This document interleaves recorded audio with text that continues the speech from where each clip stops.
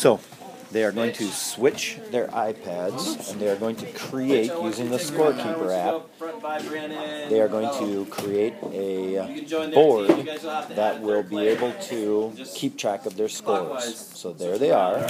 You need some paper.